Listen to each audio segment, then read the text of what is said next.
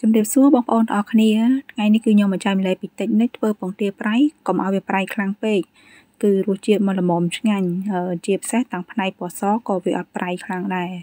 ឥឡូវមុនដំបូងគឺយើងមកធ្វើការលាងសម្អាតពងទាសិនសម្រាប់ពេលលាងសម្អាតបងប្អូនត្រូវដាក់ទឹកឲ្យច្រើនបែបនេះគឺដើម្បីយើងឆែកមើលតើមាន គ្រាប់មួយណាវាដែតឡើងលើអត់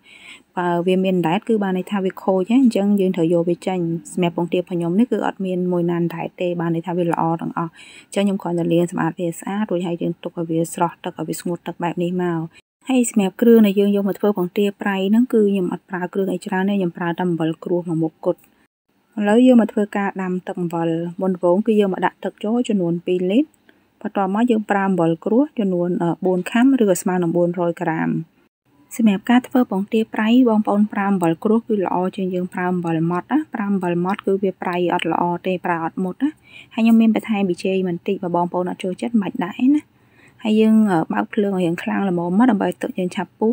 ហើយកំឡុងពេលខ្ញុំបើកភ្លើងហ្នឹងខ្ញុំកូរអំបិលឲ្យវាឆាប់រលាយ ហើយពេលដែលអំបិលគ្រួរបស់យើងរលាយវានឹងឡើងកតិចបែបនេះបងប្អូនយកកត្រងមកយើងដួសកតិចដីទាំងអស់ហ្នឹងចេញឲ្យស្អាតអស់ទៅយើងធ្វើញ៉ាំខ្លួនឯងយើងធ្វើស្អាតតិចទៅណា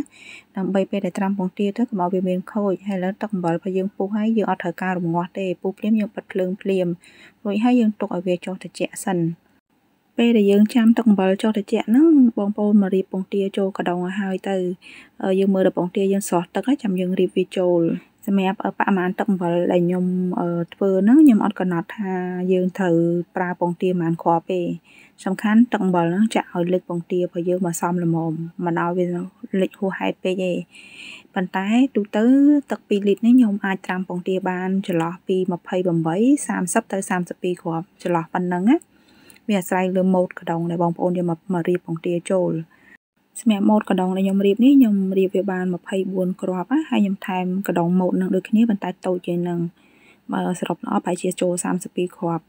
ឥឡូវទឹកអំបិលយើងគឺត្រជាក់ទុកវារហូតដល់ត្រជាក់សេបហ្មងណាទោះនៅក្រៅល្អក៏យើងអាចយកមកប្រើបានដែរកាលណាបងប្អូនប្រើវាអាចធ្វើពងទាយើងឆ្អិនណាអញ្ចឹងយើងទុកវាតតែត្រជាក់មកនៅសីតុណ្ហភាពធម្មតាចាំយើងចាក់វាចូលហើយយើងចាក់ឲ្យវាលិចមកល្មមនឹងពងទាយើងបានហើយ ព្រោះពេលដែលដាក់ទឹកចូលហ្នឹងទោះមិនក៏ពងទាយើងវានឹងដែតឡើងមកទោះចាក់ច្រើនប៉ុណ្ណាក៏វាដែតឡើងមកលើរហូតដែរអញ្ចឹងបងប្អូនដាក់មើលតែពងទានឹងវាហើបពីទឹកមកល្មមទៅយើងដោយសារធុងរបស់ខ្ញុំនេះមុខកាត់វាត្រង់អញ្ចឹងខ្ញុំខ្ទាស់ឈើអត់កើតទេអញ្ចឹងខ្ញុំជ្រក់ទឹកដាក់នៅក្នុងថង់ណាហើយយើងជ្រក់មិនឲ្យវាតឹងទេណាជ្រក់វាធូរធូរបែបនេះទៅដើម្បីយើងទម្លាក់វាមកឲ្យវាសប៉ែតចកត់ទៅលើពងទាទៅឲ្យពងទានឹងវាលិចនៅក្នុងទឹកអំបិល បើពងទាអត់លិចនៅក្នុងទឹកអំបិលទេអានដែតនៅខាងលើហ្នឹងគឺវាខូចណាអញ្ចឹងបងប្អូនត្រូវចកត់វាហើយរបៀបចកត់បងប្អូនអាចខ្ទាស់ឈើក៏បានដែរទៅតាមម៉ូតកដុងដែលយើងអាចខ្ទាស់កើតតែសម្រាប់កដុងមុខកាត់ស្មើចឹងគឺខ្ទាស់អត់កើតទេហើយសម្រាប់ពងទាប្រៃរបស់ខ្ញុំនេះគឺខ្ញុំត្រាំត្រឹមរយៈពេល18ថ្ងៃទៅ19ថ្ងៃពេល18ថ្ងៃហ្នឹងខ្ញុំយកវាមកដាក់នៅក្នុងឆ្នាំងបាយតែសាកមើលទៅរសជាតិគឺមកប្រៃមកល្មមវាអត់ប្រៃខ្លាំងទេទាំងផ្នែកសនិងផ្នែកក្រហម ជាពិសេសគឺផ្នែកសគឺវាប្រៃឡំឡំល្មមយើងញ៉ាំបាន តែនោះសម្រាប់រសជាតិដែលខ្ញុំចូលចិត្តទេណាសម្រាប់បងប្អូនបងប្អូនអាចតេស្តមើលដាក់ក្នុងឆ្នាំងបាយមួយគ្រាប់ពីរគ្រាប់មើលទៅបើថាបងប្អូនយល់ថាវានៅសាបពេកអត់ចូលចិត្តចូលចិត្តប្រៃមុតជាងហ្នឹងយើងបន្តត្រាំវាចោលមួយថ្ងៃពីរថ្ងៃទៀតទៅតែបើថាយើងរសជាតិប៉ុណ្ណឹងបងប្អូនអូខេហើយយើងស្រង់វាចេញមកអស់មកហើយយើងយកវាទៅលាងសម្អាតឲ្យស្អាត ដើម្បីយើងយករក្សាទុកនៅក្នុងទូទឹកកកគឺបានរយៈពេលយូរខ្ញុំអត់បន្តត្រាំនៅក្នុងទឹកអំបិលនឹងទៀតទេព្រោះថាយើងត្រាំបន្តទៀតគឺវាប្រៃកាន់តែប្រៃទៅប្រៃទៅណាយើងលាងវាស្អាតហើយយើងទុកវាស្រស់ទឹកទៅបងប្អូនអាចតម្រៀបចូលក្នុងដាក់ក្នុងកញ្ឆេងអញ្ចឹងដាក់ក្នុងទូទឹកកកក៏បានហើយបើច្រកថង់កុំចងវាចិត្តតាណាចងចិត្តពងទាយើងវា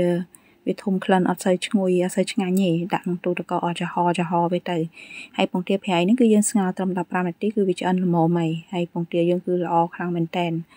រសជាតិវិញគឺអត់ប្រៃខ្លាំងទេ ទាំងផ្នែកសនិងក្រហមមកល្មមឆ្ងាញ់តែម្ដងបងប្អូនអត់ធ្លាប់ធ្វើគឺអាចសាកល្បងតាមវិធីរបស់ខ្ញុំបានណាបើអត់ចូលចិត្តពងទាដែលប្រៃមុតគឺធ្វើតាមវិធីរបស់ខ្ញុំធានាជូនថាអត់ប្រៃទេ